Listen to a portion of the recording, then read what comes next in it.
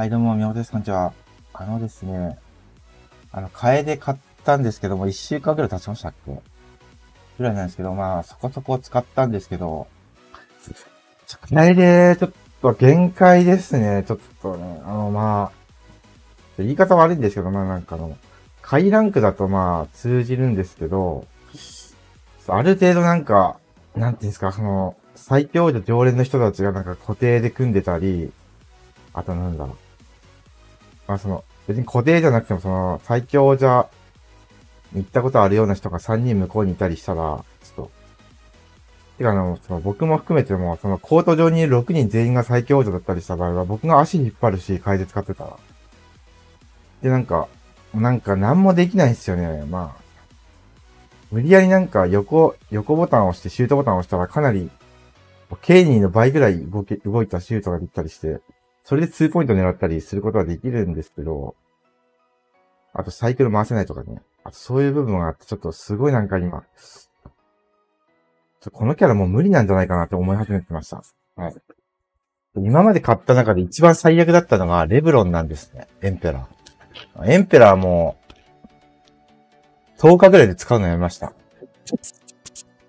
それに匹敵するぐらいちょっと後悔したかもしれませんね、楓ちょっと。無理じゃないですか、もう楓とかこれ。これ本当に強化圏150のキャラなんて思いますね。強化圏80のキャラと一緒やんって思うんですけど。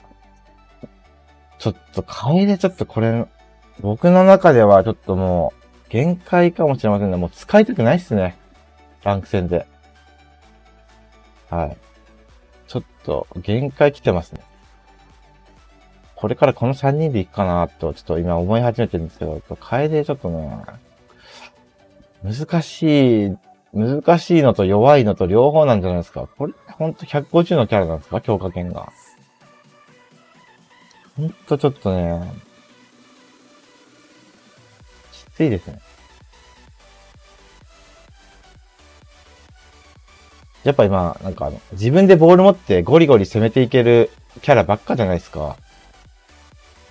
上位勢で攻めれるキャラで、まあ、緑間はまあ完全チームプレイだし、なんか、バーストため、ためればなんか、延長行くまでに2回もなんか、あんな無敵の絶対入るシュートを打てるし、あいつ例外だとして、それ以外でなんか攻めれる主要なキャラって、あと、ナグモとかもまあ、ちょっと緑間にちょっと似てるか。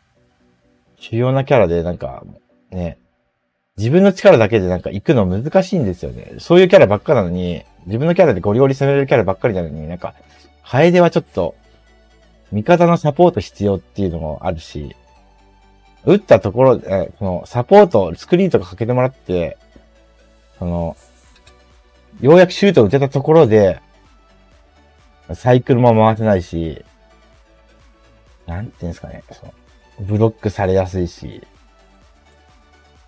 ちょっと無理かもしれませんね。ちょっと楓。もう使いたくないっすわ、もう。はい。きついですわ。